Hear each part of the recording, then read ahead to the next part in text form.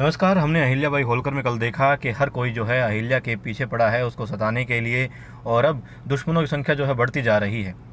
हमने देखा कि दिखाया गया है कि अहिल्या ऊपर डांट पड़ती है कि उसने जो खंडे राव उसके क्योंकि दोस्ती निभा रहे हैं, दोस्त मान चुके हैं और भाई धर्म भी है दोस्त का कि दोस्त जब दुविधा में हो, दुख में हो, पीड़ा में हो तो उसका साथ देना चाहिए। अब खंडे राव मेरे ख्याल से जो है वो जो थाली लेके आए हैं भोजन की, उसको खाना खिलाने के लिए, क्योंकि उनको पता है कि अहिल्या जो है भूख बर्दाश्त नहीं कर सकती।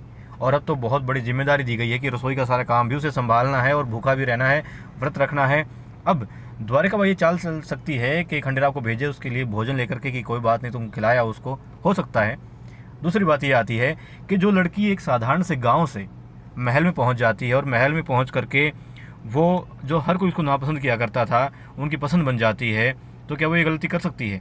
बहुत छोटी गलती नहीं है बहुत बड़ी गलती होगी। और ये जानती है ये बात कि अहिल्याबाई होलकर की सासूबाई ने उसको चार परीक्षाओं से भी एक बड़ी परीक्षा दी है।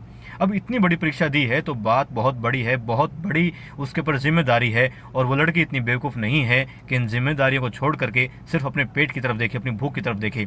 तो बेशक अहिल्या के लिए खंडेरा वहाँ लेकर गया है दोस्ती धर्म निभाने के लिए भोजन, मगर अहिल्या चाह कर भी नहीं खाएगी। और खंडेरा को मेरे ख्याल से समझा देगी कि उसने क्यों नहीं खाना है। और आप सब लोग जानते हैं पासा उल्टा पड़ेगा द्वारिका बाई के ऊपर।